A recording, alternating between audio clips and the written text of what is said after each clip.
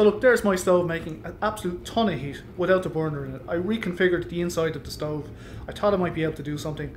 Uh, I've happened on it before and I've just kind of configured it a bit differently tonight. And you can see it, it's absolutely red hot. Top plate in the dark is red hot. Me just show you that.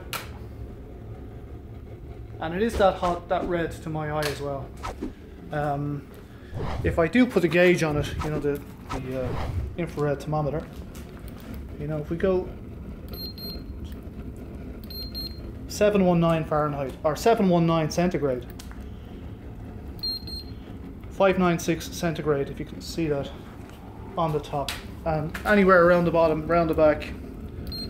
Um, I got the handle that time. Handle is reflective, but you know, around the back is the same color. 697. I mean, we're talking savage heat. Anybody thinking of melting aluminium, I'd only have to put aluminium uh, up against this thing and it would melt it. That's centigrade. Fahrenheit, I'll just do quickly on the Fahrenheit scale. Um, if you can see that, it's 1360 or 13, yeah, 1370 Fahrenheit. And that's not the hottest part of the stove either. It's just mental. And you can see the door is open.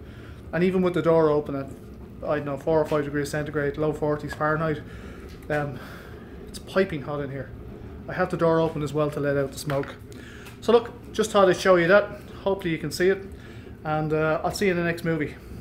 Bye for now. Good luck.